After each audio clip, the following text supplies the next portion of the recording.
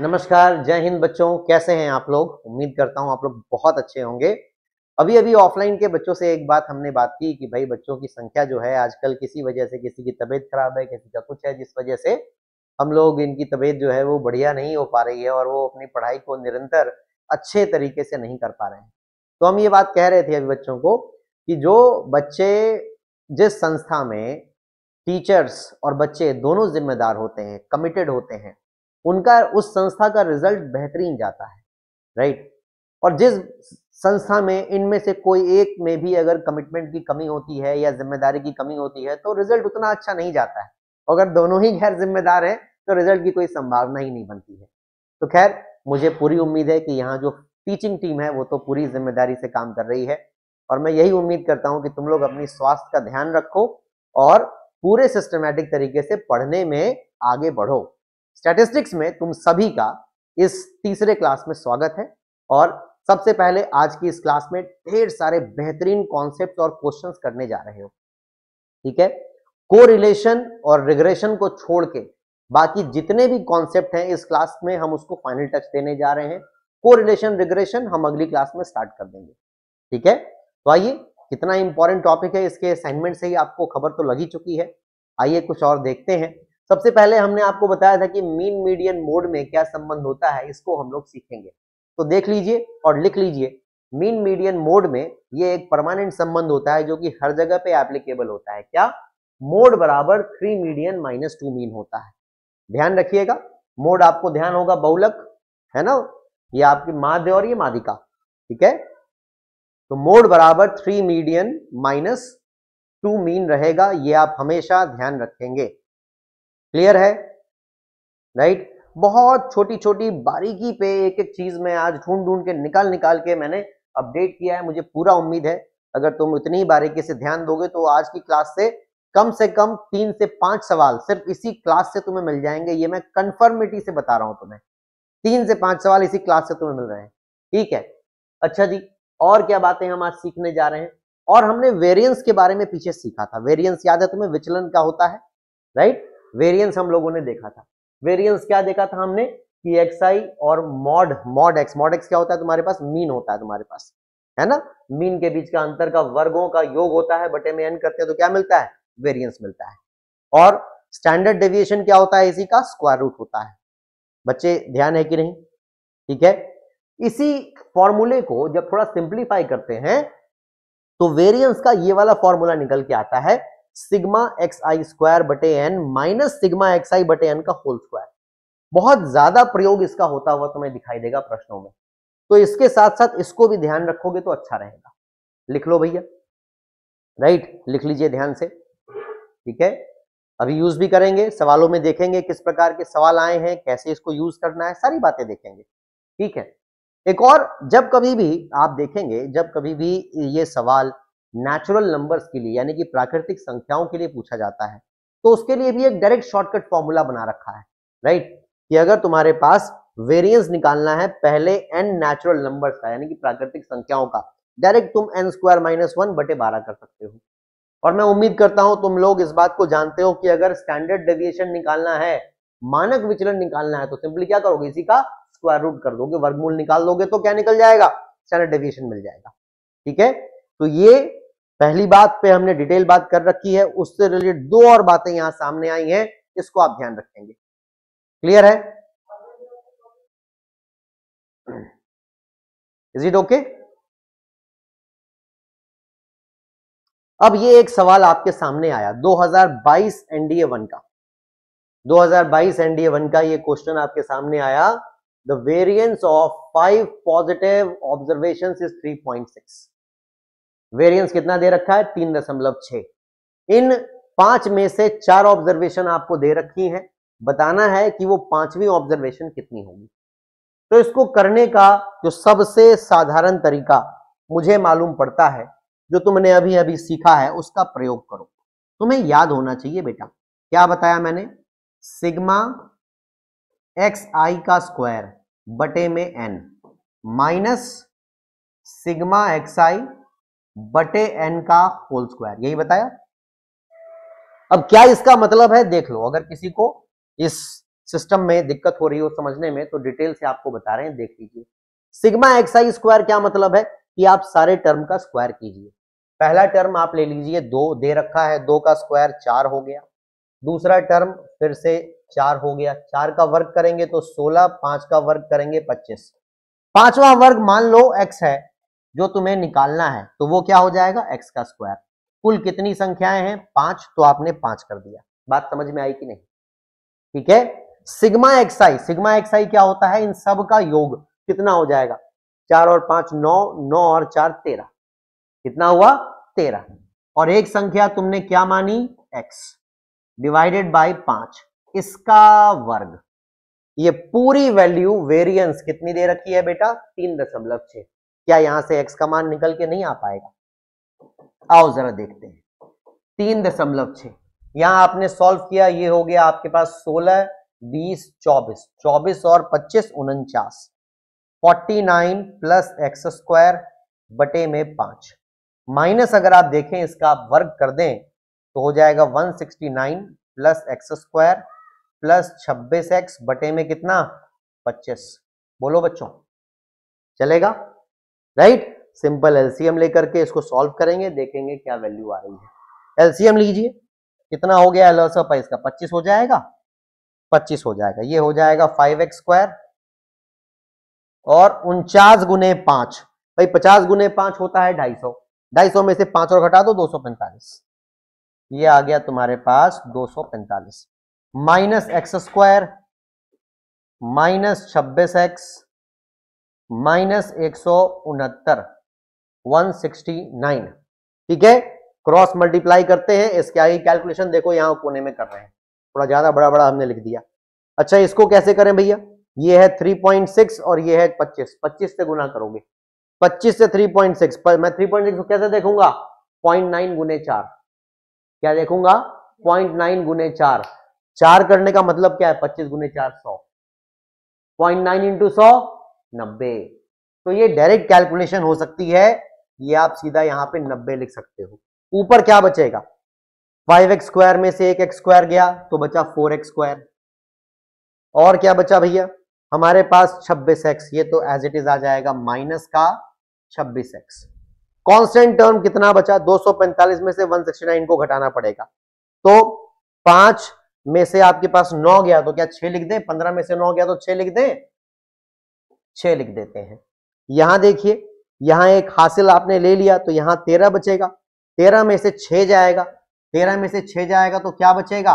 सात बचना चाहिए, ठीक है? और यहाँ से हासिल जाएगा तो पूरा पूरा कैंसिल हो जाएगा। ये आपका इस प्रकार से कुछ बच रहा है, ठीक है? एक बढ़िया सा क्वाड्रेटिक इक्वेशन बनता हुआ दिखाई देता है। फोर एक्स स्क्वायर माइनस का छब्बीस एक्स इसको भी अगर इधर लेके आओगे तो शायद माइनस का चौदह हो जाएगा। ठीक है बच्चों? दो कॉमन आ रहा है, ले लो common two x square minus तेरह एक्स माइनस सात। कितना आ रहा है? माइनस चौदह। क्या ये माइनस चौदह? कलर चेंज कर देता हूँ ताकि कोई तुम्हें दिक्कत ना हो। ठीक है? इधर ये कैलकुलेशन कर रहा हूँ। तो यहाँ पे हमने देखा, ये आ गया टू एक्स स्क्वायर माइनस का चौदह एक्स प्लस का एक्स माइनस सात। उम्मीद करता हूँ ये सब चीज़ें तुम लोगों को आती हैं। और इसमें तुम्हें कोई गंभीर समस्या नहीं होनी चाहिए। तो यहाँ से x की दो वैल्यू हमें दिखाई देती है। एक है हमारे पास, एक है हमारे पास x बराबर सात और एक है माइनस हाफ़ इसमें से जो भी ऑप्शन हमें अवेलेबल दिख रहा है डेफिनेटली उसको हम लोग मार्क करेंगे। क्या मार्क करोगे भैया? कौन सा ऑप्शन मार्क करोगे? सी ऑप्शन देख लो, अगर समझ में आ गया तो बेहतरीन, और कोई दिक्कत है तो पहले लिख लो, फिर पूछो। ओके। दूसरा सवाल यहाँ हमारे सामने आया है 2021 एनडीए टू में पूछा गया है वेरिएंस के ऊपर है, जो हमने अभी पढ़ा है, उसी को यूज़ करना है। देखो, बहुत ज़रूरी बातें मैंने पूरे गारंटी से तुम्हें कही कि तीन से पाँच सवाल इस बार के एनडीए में सीधे इसी क्लास से आ रहा है। तो पूरे हंड्रेड परसेंट अटेंशन से तुम लोग देखो ताकि तुम उस बात को सीख सको, कर सको। अब ये भी तुमने वेरियंस का फॉर्मूला पढ़ा। क्या निकालना भाई? प्रसरण निकालना है। प्रसरण यानी कि वेरियंस अभी अभी तुमने इसका फॉर्मूला पढ़ा। अब तुम्हें ये सब याद हो जाना चाहिए, है? एक्स आई का स्क्वायर माइनस एन बटे एन माइनस एक्स आई का मॉडुलस बटे एन का होल स्क्वायर अब यूज़ करके भी दिखाया आपको। आप अगर इसका यहाँ पे प्रयोग करते हैं तो यहाँ पे एक्स आई का स्क्वायर दे रखा है 1540 1540 एन का मान दिखाई नहीं दे रहा है। अरे जरा ध्यान से देखो, दिखाई देगा। एक से लेके दस है, यानी दस है आपके पास। कितनी संख्याएँ हैं? दस संख्याएँ दे रखा है इन्होंने। बस ध्यान से देखिए एक्सआई कितना दे रखा है? 110 दे रखा है। बटे में 10 और इसका होल स्क्वायर अगर इसको हम लोग कैंसिल करें तो हमारे पास आ जाता है एक सौ चौवन माइनस ग्यारह का वर्ग। ग्यारह का वर्ग कितना होता है मेरे भाई? 121 अगर हम इसको घटाएँगे साफ़ साफ़ हमें तो 33 दिखाई देता है। बाकी आंसर की तुम्हारे पास है, तुम देख लो। आप बताओ, क्या दिक्कत है? डायरेक्ट फॉर्मूला बेस्ड क्वेश्चन है। इससे आसान और क्या देगा भाई यूपीएससी इससे ज़्यादा आसान आप यूपीएससी में और क्या उम्मीद लिए बैठे हैं, आप बताइए। टीचर कह रहे हैं इंपॉर्टेंट है, तीन से पाँच सवाल आज की इसी क्लास से आने हैं। फॉर्मूला पता है, उसके बाद भी अगर आप ध्यान नहीं रख रहे हैं कैलकुलेशन नहीं कर रहे हैं, और कैलकुलेटर का प्रयोग कर रहे हो, क्यों भाई? बंद करो फ़ोन अपना। हाँ अगला सवाल देखो। अगला सवाल देखो भाई। सिग्मा एक्स आई बीस सिग्मा एक्स आई स्क्वायर दो सौ एन बराबर दस, बताना है what is the coefficient of variation coefficient of variation coefficient of variation बताया था? अरे बताया था कि नहीं? क्या था कोफिशियंट ऑफ़ वेरिएशन देखो इधर। कोफिशियंट ऑफ़ वेरिएशन हिंदी में आप देख रहे हैं तो विचरण गुणांक क्या है? विचरण गुणांक क्या है? विचरण गुणांक के बारे में हमने आपको बताया था। स्टैंडर्ड डेविएशन बटे मीन गुने सौ। नहीं बताया है? जरा हाँ ना में जवाब देना। बताया है। अब बात आती है कि सर स्टैंडर्ड डेविएशन कैसे देखे? अरे भाई वेरिएंस निकाल दो, उसका स्क्वायर रूट कर दो, आ गया स्टैंडर्ड डेविएशन नहीं आता है क्या? सिग्मा एक्स आई स्क्वायर मैं सीधा लिखूँगा। 200 बटे में एन 10 दे रखा है। माइनस ये आपका 20 दे रखा है। 20 बटे 10 का क्या? वर्ग। तो ये हो गया तुम्हारे पास 20 और यहाँ बचा चार। 20 में से चार गया तो 16 कितना खूबसूरत संख्या है। How beautiful is this number variance का स्क्वायर रूट किए, तुम्हारे पास स्टैंडर्ड डेविएशन कितना आ गया? कितना आसानी से। अब तुम्हें कोफिशियंट चाहिए तो लो भाई कोफिशियंट ऑफ़ वेरिएशन चाहिए। ऊपर क्या निकाला तुमने? स्टैंडर्ड डेविएशन नीचे क्या आएगा? मीन मीन कैसे देखते हो? मीन यहाँ पे कितना हो जाएगा? मीन हो जाता है सिग्मा एक्साई जो कि है 20 बटे नंबर ऑफ़ टर्म्स तो मीन कितना हो गया? दो हो गया। बोलो हाँ या ना? गुने क्या करोगे? गुने दो करोगे इंटू सौ करोगे। आंसर मुझे तो साफ़ साफ़ 200 दिखाई देता है। डी ऑप्शन 2020 2020 में एनडीए सिर्फ़ एक बार हुआ था। ऐसा क्यों, सर? अरे, कोरोना का वर्ष था मेरे भाई। अप्रैल वाला एनडीए लॉकडाउन में निकल गया था, जब मोदी जी ने सबसे थाली बजवाई थी। याद है ना? ठीक है? तो उसमें एनडीए थाली बजाने में निकल गया था, एक एनडीए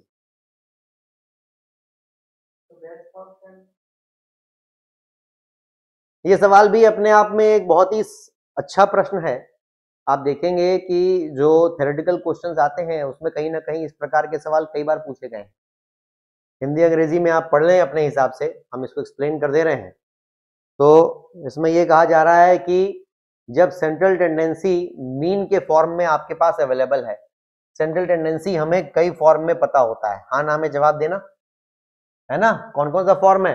मीन मीडियन मोड ठीक है? अगर मीन के फॉर्म में आपको अवेलेबल है तो इनमें से सबसे सटीक एक्यूरेट वेरिएबिलिटी का, यानी विचलन का क्या होता है?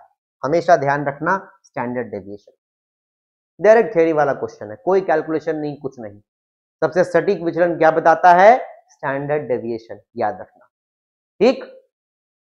क्लियर है भैया? सवाल पढ़ने में कोई दिक्कत तो नहीं? ओके ध्यान रखेंगे आप।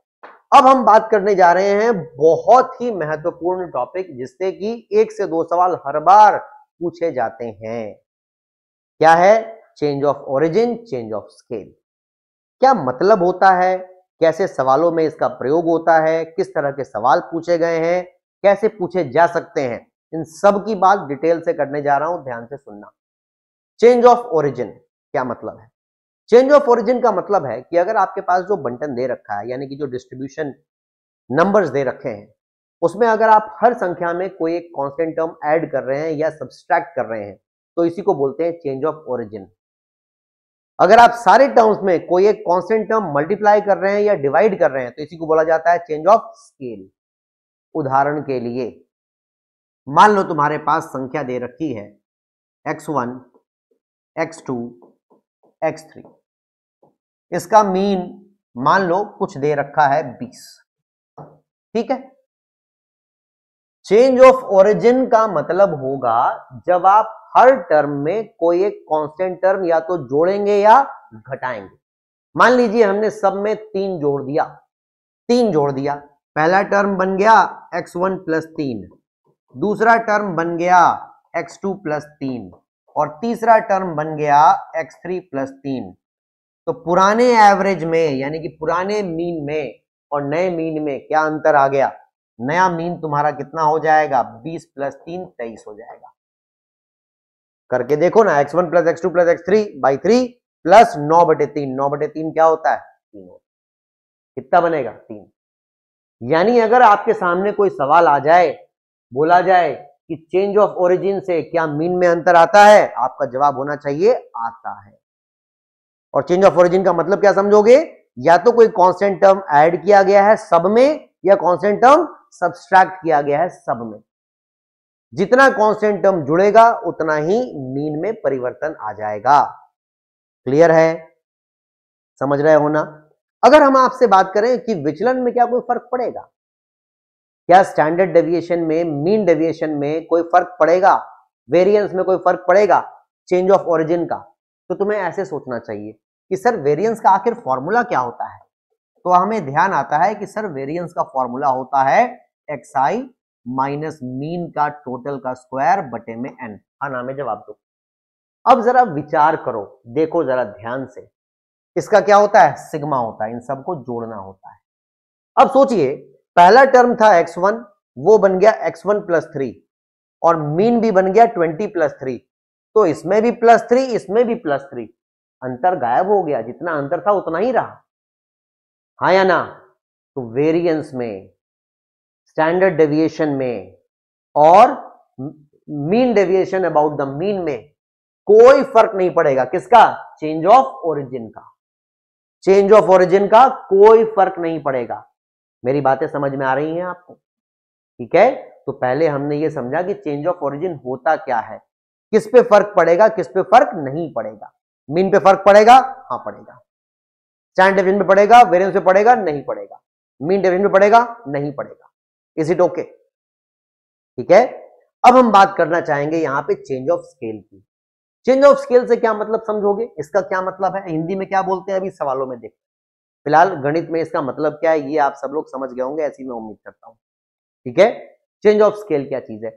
चेंज ऑफ़ स्केल का मतलब होता है, अगर हम एक कांस्टेंट टर्म सब में गुना कर दें या भाग दे दें तो उसी को बोला जाता है चेंज ऑफ़ स्केल इसी उदाहरण में मान लो, जैसे ये हमारे पास तीन संख्याओं का औसत या तीन संख्याओं का मीन हमें बीस दे रखा है। सारी संख्याओं को मान लीजिए हमने दो से गुना कर दिया। ये बन गया टू एक्स वन ये बन गया टू एक्स टू ये बन गया टू एक्स थ्री। तो क्या हमारा जो मीन है, क्या वो चालीस नहीं बन जाएगा? यानी कि मीन पे चेंज ऑफ़ ओरिजिन का भी फ़र्क पड़ेगा और चेंज ऑफ़ स्केल का भी फ़र्क पड़ेगा। हाँ या ना? राइट? अब बात आती है, क्या वेरिएंस पे फ़र्क पड़ेगा क्या? जरा ध्यान से देखना इधर सब लोग। हमने दो से गुना किया, ये भी दो से गुना हो गया, ये भी दो से गुना हो गया, और ये उसका वर्ग है। तो क्या ये चार गुना नहीं हो जाएगा? जो नया वाला वेरिएंस है, वो पुराने वाले का क्या चार गुना नहीं हो जाएगा? हाँ। यानी वेरिएंस पर चेंज ऑफ़ ओरिजिन का कोई फ़र्क नहीं पड़ा था, लेकिन चेंज ऑफ़ स्केल का फ़र्क पड़ेगा। अगर दो गुना सारे टम्बर्स हुए हैं तो वेरिएंस अब चार गुना हो जाएगा। ध्यान रखना, इस पे सीधे सवाल आएँगे, सीधे। समझे या नहीं? अगर सारे संख्याओं को तुमने तीन से गुना कर दिया तो नया वेरिएंस क्या हो जाएगा? नौ गुना हो जाएगा। उसका स्क्वायर होगा ना? समझे कि नहीं? स्टैंडर्ड डिवीज़न पे क्या फ़र्क पड़ेगा? स्टैंडर्ड डेविएशन इसका स्क्वायर होता है स्क्वायर रूट होता है। तो स्टैंडर्ड डेविएशन पे क्या फ़र्क पड़ेगा? दो गुना होगा। पुराने वाले का दो गुना। समझे या नहीं? वेरियंस स्क्वायर स्टैंडर्ड डेविएशन सिर्फ़ उतना ही गुना जितना गुना हुआ है।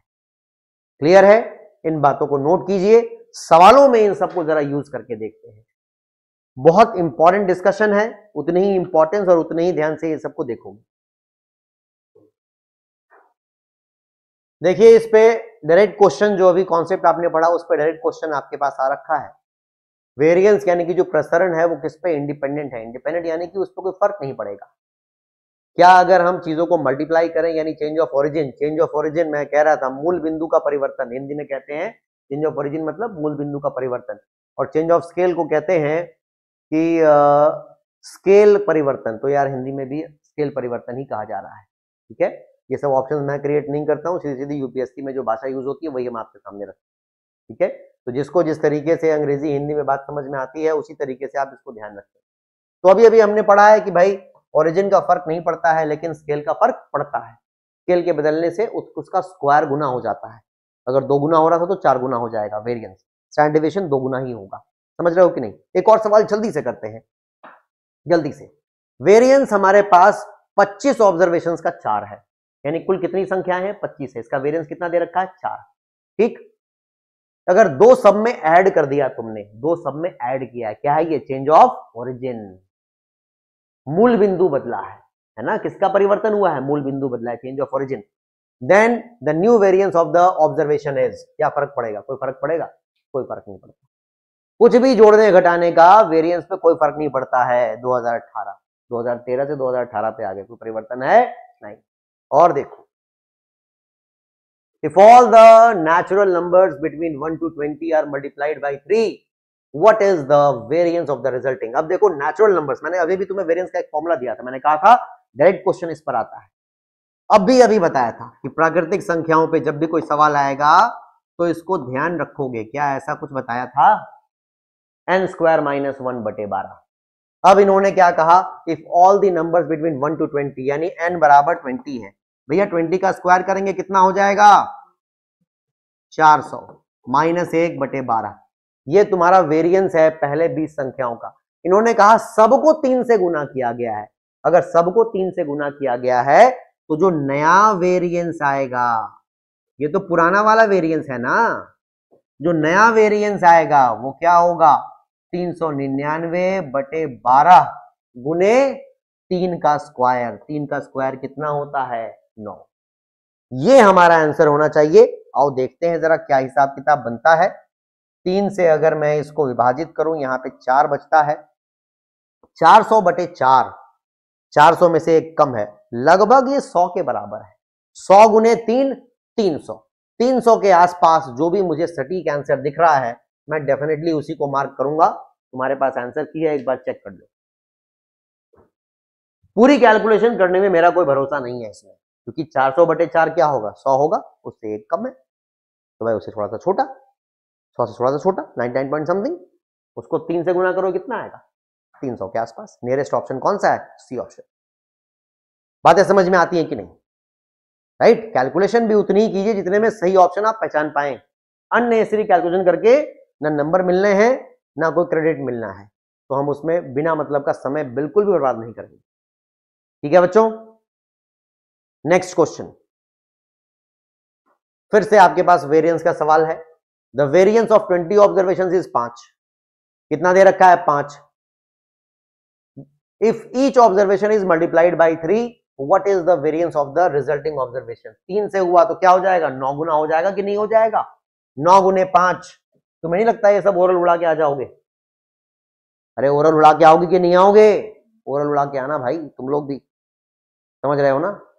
डायरेक्ट क्वेश्चन और देखिए कहाँ से 2013 17 18 22 तक भी देख लो। हर साल पूछा जा रहा है। यानी इंपॉर्टेंट है। हर साल एक से दो सवाल तो बनते ही बनते हैं। इस बात को समझने की ज़रूरत है। सिर्फ़ शिफ्टिंग ऑफ़ ओरिजिन और चेंज ऑफ़ स्केल पर। अगला सवाल। The mean and variance of ten observation are चार एंड दो। मीन चार है और वेरियंस दो है। If every observation is multiplied by two the mean of the variance mean और वेरियंस में क्या परिवर्तन आएगा? कितना लल्लू क्वेश्चन है 2015 में। अगर किसी को change of origin change of scale समझ में आ गया है तो आंसर ऐसे खटाखट आएगा। बताओ आंसर कितना दोगे? जल्दी बोलो।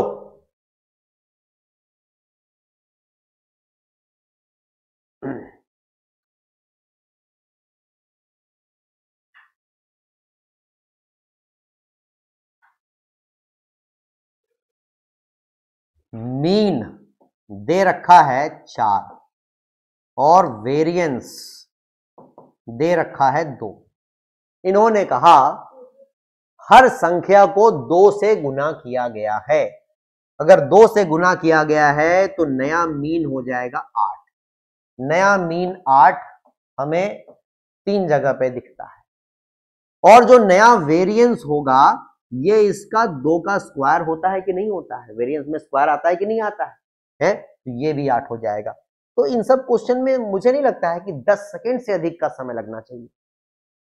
क्या दस सेकेंड से अधिक का समय लगना चाहिए? नहीं लगना चाहिए, बेटा। उड़ा के आना इन सब सवालों को राइट देखो, और कितने सवाल पूछे जा रहे हैं इस बात को समझने का प्रयास करो। अब सालों से इस पे क्वेश्चन पूछे जा रहे हैं। इसकी इंपॉर्टेंस को हमें समझना चाहिए राइट देखो, एक अच्छा विद्यार्थी वो नहीं होता है जो पूरा सिलेबस करके जाता है। एक अच्छा विद्यार्थी वो होता है जो सिलेबस करने के साथ साथ ये भी देखता है कि कौन सा टॉपिक उससे बहुत इंपॉर्टेंट है। बार बार उस पर सवाल बन रहे हैं। तो इन सब चीज़ों को भी आपको ऑब्ज़र्व करना है कि हाँ ये तो एकदम सेकेंडों में होने वाली चीज़ है। देखिए the mean of ten observation is five ठीक है भैया? मीन पाँच दे रखा है। इफ़ टू इज़ एडेड क्या है ये? चेंज ऑफ़ स्केल है। चेंज ऑफ़ स्केल है। If two is the change of origin है भैया? ऐड हो रहा है। चेंज ऑफ़ ओरिजिन है ये। ठीक है? Two is added to each observation then and multiplied by three पहले ऐड किया, फिर मल्टीप्लाई किया। तो नया मीन क्या होगा? बहुत ही आसान है। पहले जब दो ऐड किया मीन कितना दे रखा था? पाँच। जब दो ऐड किया तो नया मीन क्या हो गया? सात। अब जब तीन से गुना किया तो नया मीन कितना हो गया? इक्कीस। बताइए, क्या ही करना है इन सब सवालों में?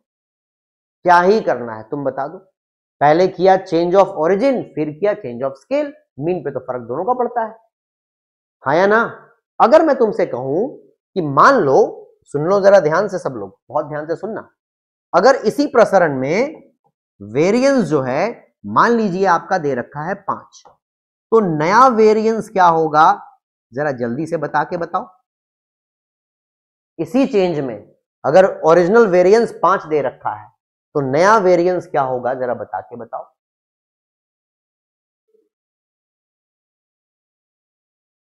क्या हुआ पहले? पहले दो ऐड किया गया।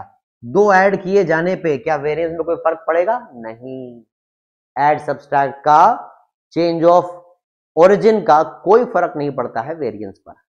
फिर इन्होंने किससे गुना किया? तीन से। जब तीन से गुना किया मेरे प्यारे बच्चों तो गुना किससे होगा? तीन के वर्ग से, क्योंकि स्क्वायर होता है। तो नया वेरिएंस कितना होगा? पैंतालीस। समझे कि नहीं? सही करके आना, गड़बड़ मत करना।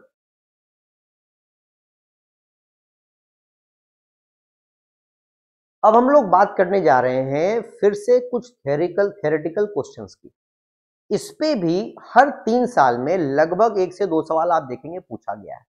स्क्यूनेस के ऊपर। स्क्यूनेस यानी जब हम किसी का फ्रीक्वेंसी कर्व बनाते हैं, प्लॉट करते हैं उसको, एक्स, वाई एक्सिस पर तो किस प्रकार से उसका कर्व आगे पीछे होता है, मीन, मीडियन मोड में क्या आपस में रिलेशंस होते हैं, ये सारी बातें हम यहाँ डिस्कस करने जा रहे हैं। ध्यानपूर्वक सुनिएगा, देखिएगा। तो देखो बच्चों, यहाँ पे स्क्यूनेस में आपके पास सबसे पहला होता है सिमेट्रिकल सिस्टम सिमेट्रिकल इसको बेल शेप डायग्राम भी कहते हैं बेल शेप बेल शेप देखते हो ना, ऐसे घंटी होता है, घंटी आदि होती कुछ राइट ये सिमेट्रिकल डायग्राम होता है। जब कभी भी फ्रीक्वेंसी ऐसी होती है तो इसमें मीन मीडियन और मोड तीनों बराबर होते हैं और यहाँ बीच में आते हैं। ठीक है? बात समझ रहे हो? यहाँ मीन मीडियन मोड तीनों के तीनों कैसे होंगे? बीच में आएँगे, बराबर होंगे इक्वल होंगे। और जब कभी भी स्क्यू टू द लेफ़्ट, यानी कि बाएँ तरफ़ में ज़्यादा नीचे दब गया है, ठीक है? तो इस केस में मीन सबसे छोटा होगा, फिर मीडियन होगा, फिर मोड होगा। इस बात को कई बार लेस देन ओजाइव या राइजिंग कर्व भी कहते हैं। इन बातों को याद रखना, ठीक है? इसको लेस देन ओजाइव या राइजिंग कर्व भी कहते देखो, ये उठता हुआ कर्व दिख रहा है कि नहीं? ठीक है? राइजिंग कर्व भी कहा जाता है। और इस केस में क्या होता है? ये तुम्हारा, ये स्क्यू टू द लेफ़्ट, बाएँ तरफ़ स्क्यू है ऐसे ही इसका ठीक उल्टा स्क्यू टू द राइट भी होता है। जब ये राइट की तरफ़, ये देख रहा हो तुम्हें फॉलिंग कर्व दिख रहा होगा। इस केस में ठीक उल्टा हो जाएगा। देखो, मीन सबसे बड़ा है, फिर मीडियन है, फिर मोड है। इस पे डायरेक्ट थेरेटिकल क्वेश्चन आए हैं और आने की संभावना बनती है। इसको बोला जाएगा मोर देन ओजाइव और फॉलिंग कर्व। ये ओजाइव से अधिक का कर्व कहलाता है। और इसको फॉलिंग दिखाई भी दे रहा होगा, तुम्हें गिर रहा है, ये उठ रहा है, तुम्हें साफ़ साफ़ दिखाई दे रहा दे रहा होगा। ठीक है? एक और बात यहाँ पे ज़रूर से नोट कर लेना डायग्राम के साथ साथ कि जहाँ पे फॉलिंग कर्व और राइजिंग कर्व मिलते हैं, जहाँ ये और ये मिलते हैं, जहाँ इनका पॉइंट ऑफ़ इंटरसेक्शन होता है। इंटरसेक्शन समझते हो? ये देखो, ये तुम्हारा राइजिंग कर्व है, कुछ ऐसा। और तुम्हारा फॉलिंग कर्व है, कुछ ऐसा। ये जहाँ पे मिलते हैं, ये पॉइंट ऑफ़ इंटरसेक्शन मीडियन होता है। क्या होता है? मीडियन होता है। इस पे भी प्रश्न आए हैं, ध्यान रखिएगा। जहाँ पे तुम्हारा लेस देन ओजाइव और मोर देन ओजाइव मिलेंगे, वहाँ पे क्या मिलेगा? मीडियन मिलेगा। ये सारी बातें ध्यान पूर्वक लिख लेना। ध्यान रखना एक एक चीज़ पे प्रश्न हम तुम्हें दिखाएँगे, हर चीज़ पे।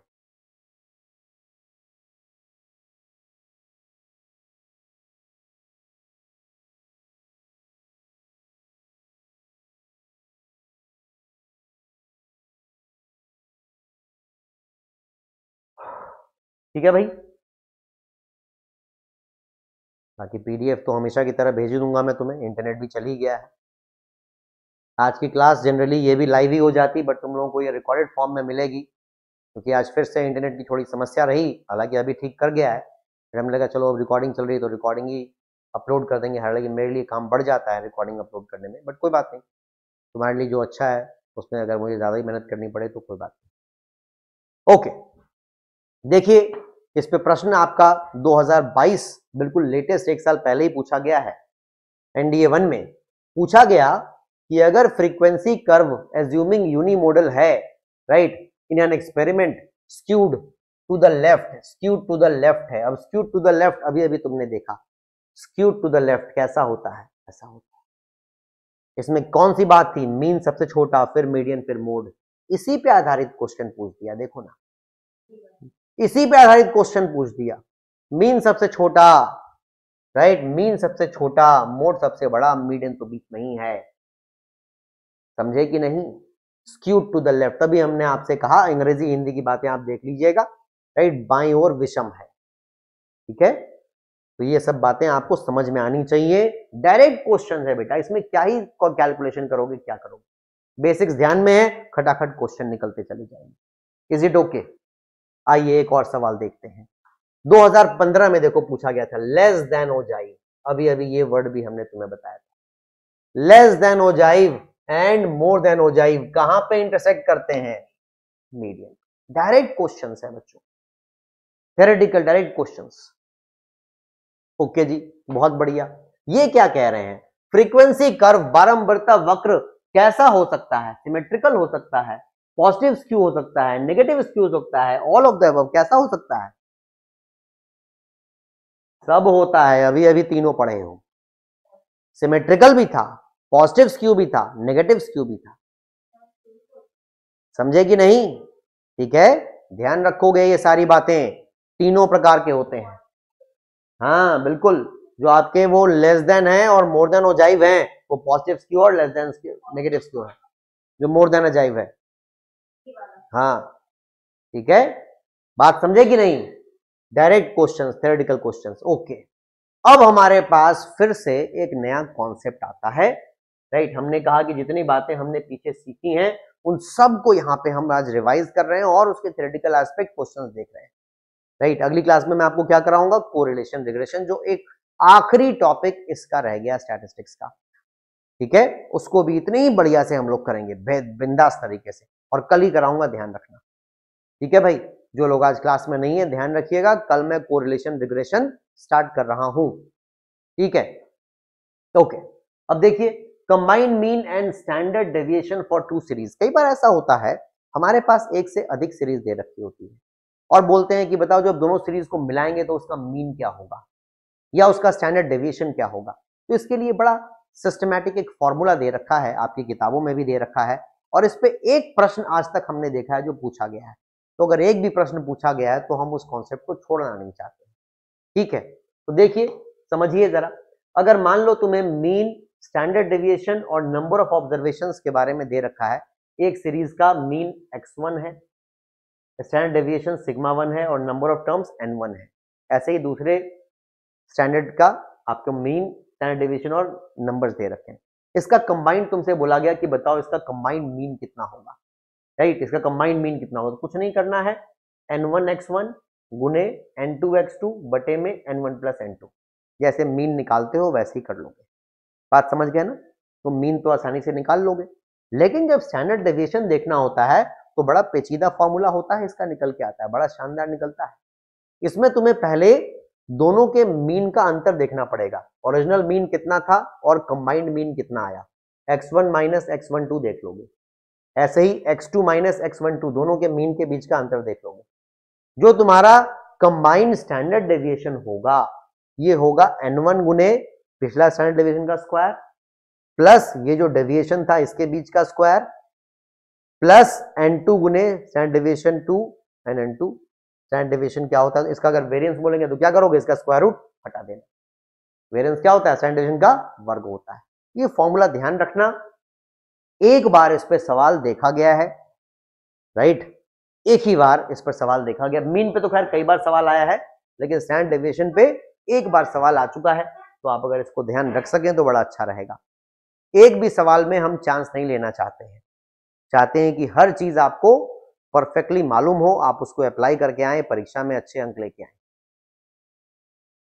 क्लियर है? नोट कर लीजिएगा, देख लीजिएगा।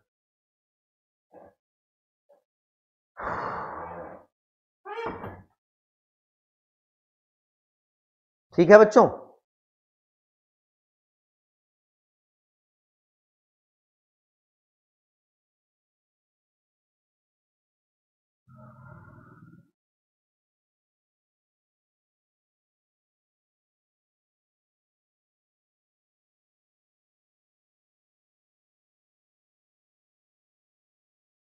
इज़ इट ओके ठीक है।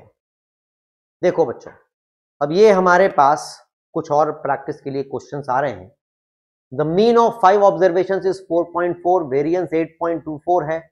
अगर पाँच ऑब्जर्वेशन हैं, एक, दो और छह, दो ऑब्जर्वेशन के बारे में पता नहीं। तो बोल रहे हैं कि बताइए, बचे हुए दो ऑब्जर्वेशन क्या होंगे? हम आपको एक मिनट का समय देते हैं, प्रयास कीजिए, क्योंकि इसका सारा कॉन्सेप्ट आपको आता है। ये सब कुछ हमने आपको करा दिया है। बताइए, क्या आंसर देंगे? आइए, इस सवाल को कैसे जल्दी से करते इस बात को देखते हैं। पाँच ऑब्जर्वेशंस का मीन चार दशमलव चार है। उनमें से तीन ऑब्जर्वेशन आपको एक, दो और छ दे रखी है।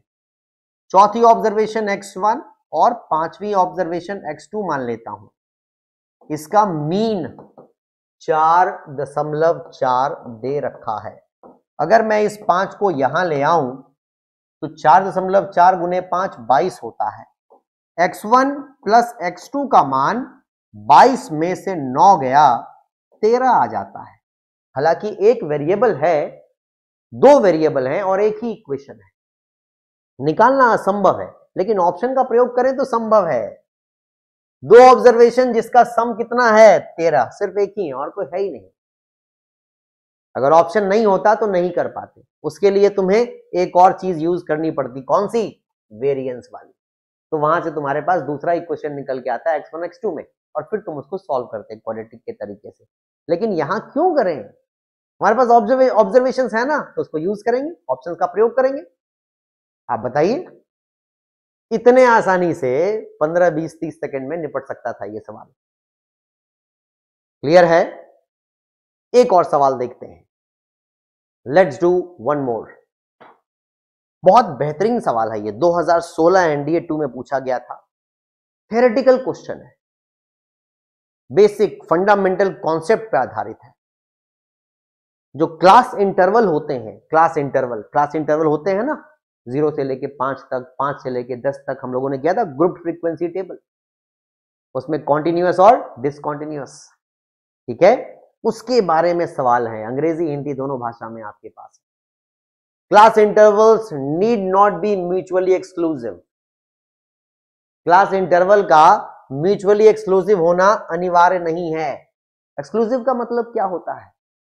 एक्सक्लूसिव का मतलब होता है, जैसे हम एक से लेके पाँच ले रहे हैं। पाँच से लेके दस ले रहे हैं। दस से लेके पंद्रह ले रहे हैं। क्या ये एक्सक्लूसिव है? हाँ ये एक्सक्लूसिव है। एक से लेके चार दशमलव नौ नौ तक यहाँ आएँगे। पाँच से लेके नौ दशमलव नौ नौ तक यहाँ आएँगे। दस से छोटे तक सब यहाँ पे आएँगे। ये एक्सक्लूसिव है। मिक्स नहीं है। राइट ये कह रहे हैं कि इनका एक्सक्लूसिव होना अनिवार्य नहीं है। सही कह रहे हैं कि गलत कह रहे हैं? गलत कह रहे हैं। एक्सक्लूसिव होना चाहिए। कंपल्सरी है।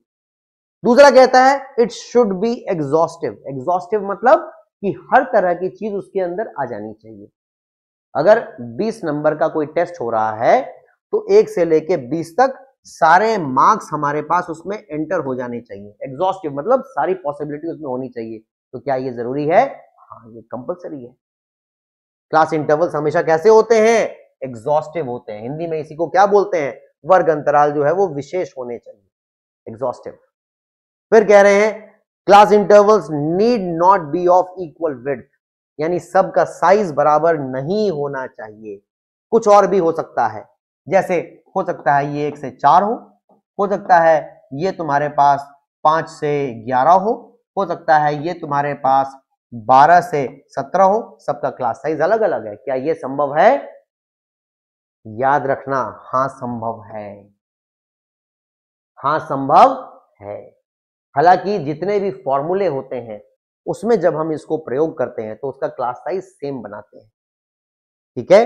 अभी ये डिसकॉन्टिन्यूस है, यहाँ का अपर लिमिट यहाँ का लोअर लिमिट अलग है तो ये कॉन्टिन्यूस नहीं है। तो वहाँ पे क्लास साइज़ भी सेम होना चाहिए और कॉन्टिन्यूस भी होना चाहिए, जब जिस फॉर्मूले में। लेकिन क्या ऐसा रिप्रेजेंटेशन हो सकता है? हाँ हो सकता है।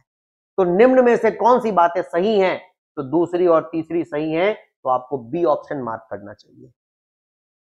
बातें समझ में आ रही हैं?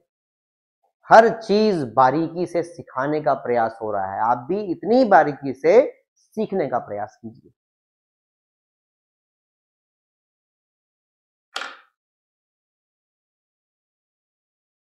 आज के आखिर दो सवाल आपके सामने, ठीक है?